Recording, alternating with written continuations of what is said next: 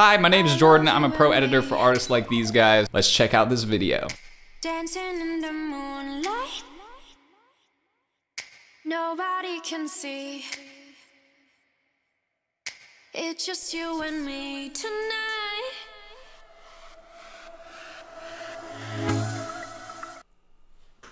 Bro, this reminds me of a music video I did with I Cortez where it was supposed to be shot within a volume, a giant circle LED screen. I think the idea in the song was they were trying to project memories on this LED screen, but it opens up on a very similar wide shot here where we just see the whole volume projected. But all of this stuff that was projected onto these sheets that are hanging down had to be edited before they even shot. Editing is in every part of the process now, not just post production, it's in pre production.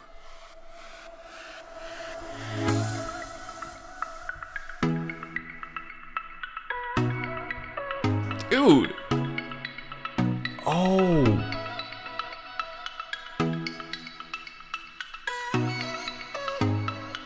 There's something I learned in aesthetics. What is it called when you see an image but you don't know what it is aesthetics?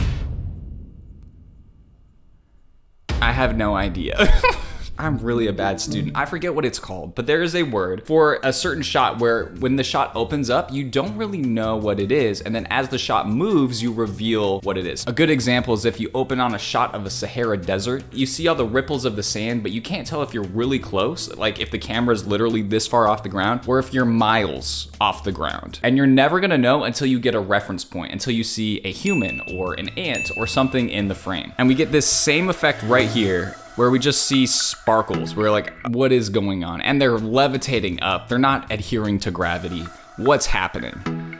And then we slowly reveal that we were just looking at a projection on those sheets. We go inside that cylinder that we saw earlier, and then we get these beautiful match cuts. You know I gotcha. You know that I got you like that. Ain't nobody Ooh. gonna have your back like the way do. You know you got me. Everything you do, everything you did, everything I wish I was with. Bruh. I love choreography. That's the whole tweet. Video's over. I don't care about your first love. This should be a lot. what I was trying to say is I love choreography when every dancer is doing something different. It's almost like harmonies in choir where everybody's singing the same note and then you break off into harmonies and then you come back into the same note. So satisfying. Anyway, we're supposed to be talking about editing here. so much of this performance video is essentially just a live show that was already choreographed. The lighting cues were already programmed in there. And so right when we see Jennie for the first time in the close-up, we get a beautiful lighting cue. Just illuminating, illumi illuminating, illuminating her so nicely. I'm sorry.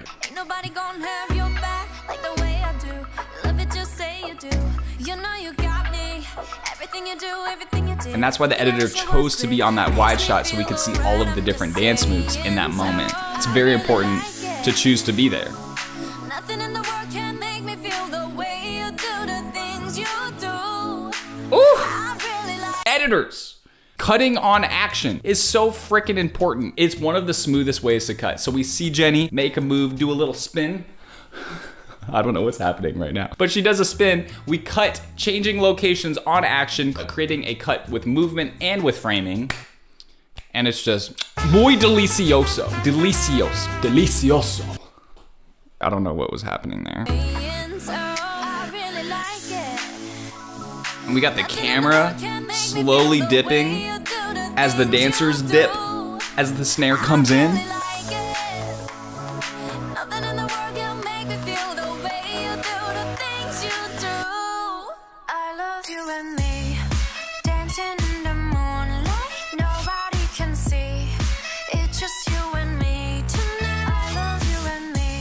Bro, these shots are so long. As the verse builds up and we get into the chorus, obviously the default thing to do is just to cut faster. Nothing in the world can make me feel the way So the cutting rhythm is just picking up right here. It's just going off. Choreography is such a great cue to the editor for what he or she should be thinking about while they're cutting. So you see the choreography is chaotic. Everybody's doing different moves, limbs are flying in all different directions. So the editor took that cue and said, oh, you know what? We're trying to create chaos in this moment, so we're just gonna cut faster between the three locations. And then it inherently creates that feeling. Nice little just tilt up transition, super simple. We also had a little bit of a lens flare. Usually editors can actually take an overlay that you take from a stock site like Artlist, Envato Elements, anything, not sponsored. You just take one of those overlays and throw it on the blend mode of screen over your footage and you can actually distract the eye during one of those transitions. It's lovely. I love you and me. And then to contrast all the chaos that the choreography and the editing was giving us earlier, they have super long shots and simple choreography. I mean, it's not simple, but it's not chaotic. It's just two people dancing in the moonlight doing exactly what the chorus says, and we just get sucked into that moment.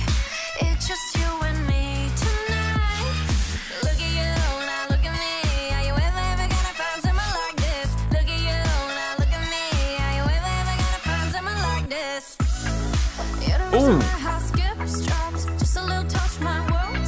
two things coming up. We actually had some retiming. At the end of that chorus, the footage of Jennie got like a little stuttery and it looked a little bit weird. And they actually did a crossfade, which is pretty rare to find these days, just in general in editing. It seemed like maybe this editor was struggling with the transition between this first chorus and second verse. They wanted to create maybe a match cut, so we have two red moons, you know, kind of flowing into one another. They also maybe didn't have enough of the moon. Maybe the moon turned off in the actual footage, so they had to extend the footage by slowing it down, making it longer, so that crossfade is fully completed. Look at you, now look at me. Are you ever, ever gonna find someone like this? Yeah, that's weird. You're the reason my heart skips, That normally does not happen. touch, my world stops. Finally, I know that Dude, oh yes, okay. So this world stops. The whole music stops. The editor's like, okay, frick, I need to figure out a way to emphasize this so the audience can feel it visually as well as hearing the music just stop. We start in this location, and in order to make a cut to emphasize that stop, we just cut to a new location and then cut back to the same location on the word stop. Just a single cut creates a visual impact that makes us feel that stop. Just a little touch, my world stops. Ah. Finally, Ooh. I know that you're mine. I don't wanna fall. Don't wanna play this game of love. Oh, the contrast between how flowy the dance is sometimes and how just chaotic it is is wild. Nothing in the world can make me feel the way you do the things you do. I really like it. Nothing in the world can make Can we just shout out the camera operators for just following that dance so smoothly? Maybe it was created in post. Excuse me, I needed to burp. And if that's the case, shout out to the editors for punching in and making those little camera movements that just match the dance so gracefully. I really like it. Nothing in the world can make me feel the way you do the things you do. I love you and me, dancing in the moonlight. Nobody can see. Bro. Oh, another one of those little lens flares. I love it.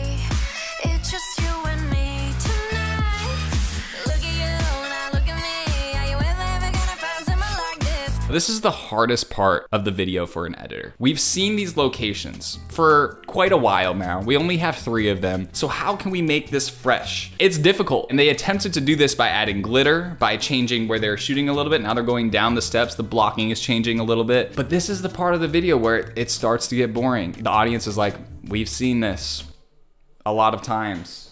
It's my brother. Hi, Justin. Hello. What do you want to say to everyone? I want to say that I'm really proud of my brother Jordan.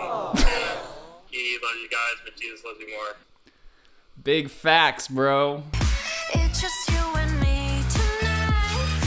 Look at you, now look at me. Are you ever, ever gonna find someone like this? Look at you, now look at me. Are you ever, ever gonna find someone like this? Ever, ever gonna find someone like this? I don't care about your first love. This should be your last one. Nothing like your last one. You look better on me, that's fashion. Won't block your shots, lights, camera, action. Never been a love me or a love me not. Every pedal. Okay.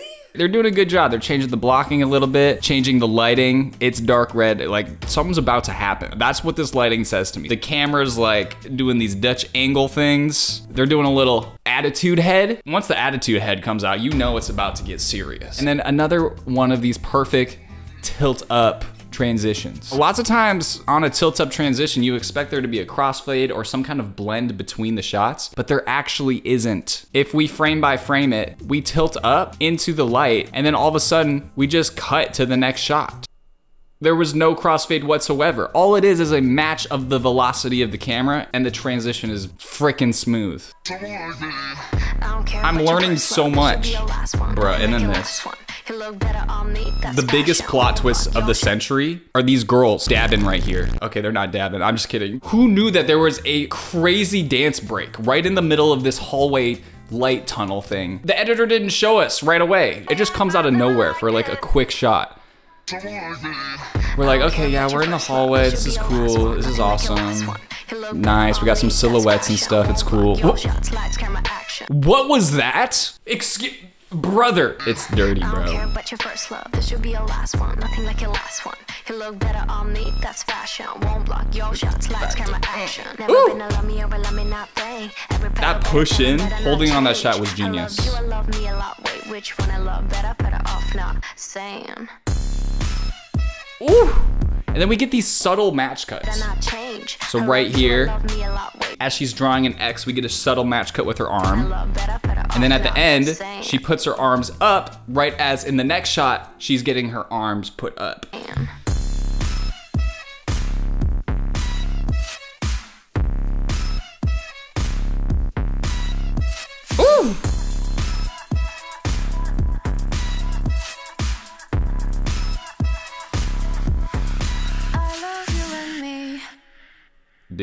This last scene is so interesting because it's like this graceful, intimate dancing set to this like distorted, screeching hardcore beat. It is that lovely peanut butter and jelly effect that we are so used to with Blackpink. If you want to learn how to edit music videos like this or anything in general, definitely check out my course, The Editing Formula. I love you guys, but Jesus loves you even more. Peace out. Have a great day.